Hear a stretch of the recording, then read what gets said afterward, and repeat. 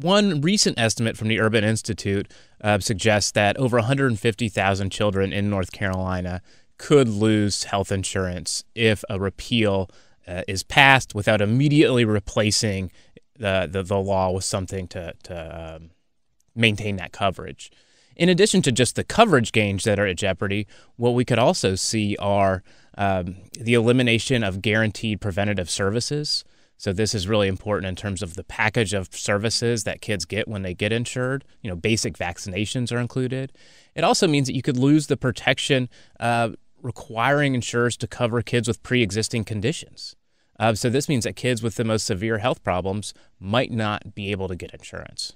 And what happens with I've actually I've heard people talk about that without following through on it, which is what happens if if you have a child who's recovered from uh, uh, cancer or some other illness or has a chronic condition and we don't have the Affordable Care Act. I don't know. I mean, I think it's kind of up in the air right now. It depends on what they replace it with, if they replace it with anything. But if there are no guarantees for coverage, the insurance industry is not required to provide care to those kids.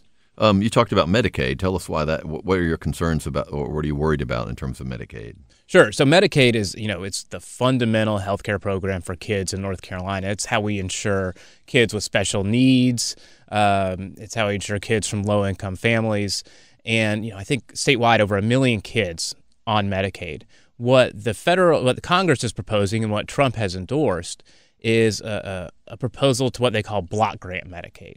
What that means right now, so if you have, are eligible for Medicaid, you're guaranteed certain levels of services. And it's not perfect, doesn't always play out exactly right, but legally you're guaranteed services. What this would do would take away those guarantees and would say, all right, North Carolina, you get a lump sum of money. If it's not enough, you can't cover all these kids, that's too bad. You're going to have to figure out a way to do it with state dollars or however.